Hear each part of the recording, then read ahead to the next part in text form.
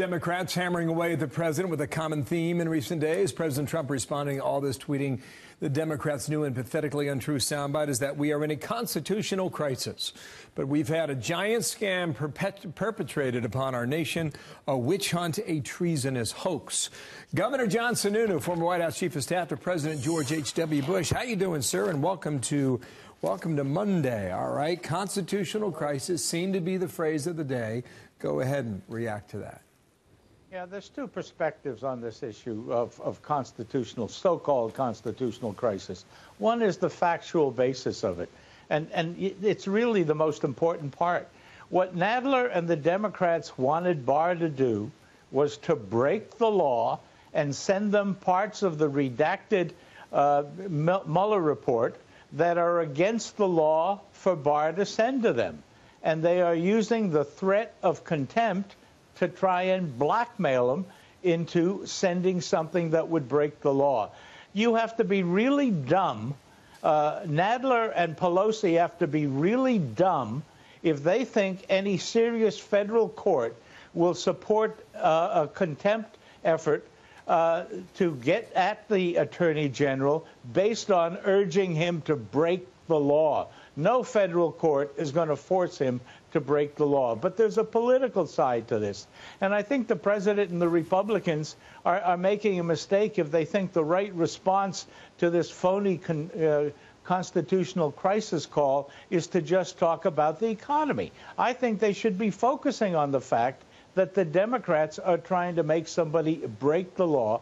The American public understands that much more than they do just uh, uh, saying that, that the Democrats are just trying to raise the level of noise. You were listening to Catherine Herridge report there a moment ago, right? What Lindsey Graham yes. is up to. What, what, what do you yeah. think? What do you think would, is behind the curtain here, Governor? Well, I think what's behind the curtain is is starting with the FISA uh, court uh, uh, uh, uh documentation that was sent there. Is that that the FBI really was politically motivated? and there are people there guilty of, of violations of the guidelines to the FISA court. And there are some folks that say that that's actually breaking the law and, and is a serious uh, uh, breaking of the law. So I think there are people that are in real trouble. And I think Graham and, and Grassley uh, and others in the Republican side are going to pursue this very, very intensely. Do you think when Bill Barr took this job that he thought he could become the target, as he has. Oh, I think Bill Barr has been around Washington long enough uh, to know that that uh, uh, he better take advantage of his thick skin uh, in this job. Bill Barr is smart. Bill Barr's been around a long time. He's got the Democrats scared to death. That's why they're doing this to him. They're trying to undermine him early uh, before he starts pursuing uh, all the things that he agreed to pursue uh, uh, during his confirmation. Oh, that's very interesting. Do you see the piece in the New York Times on Friday before the weekend?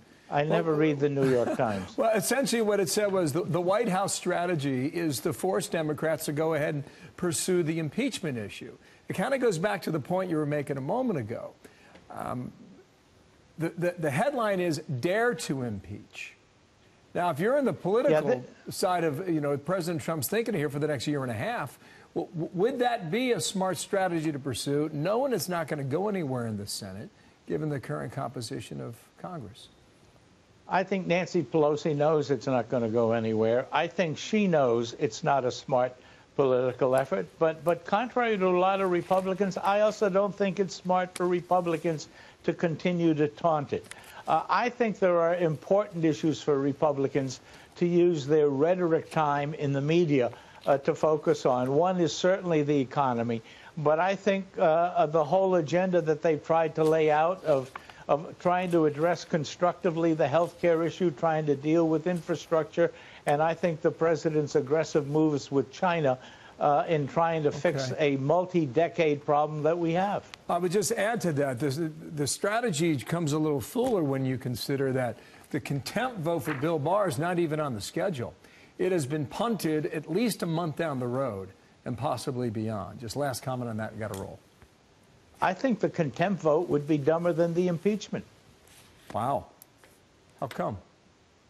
because they're trying to put him in under contempt charges for for not breaking the law. And when you start looking at the detail of that, with the with the visibility that a uh, effort in Congress to get a contempt vote would be, the public would see that all the Democrats are trying to do is make Barr break the law. And nobody in the American public supports having Congress blackmail somebody into breaking the law. Really interesting stuff. Thank you, Governor. Have a great day, okay? John Sununu, Mondays with the Governor. Thank you, sir.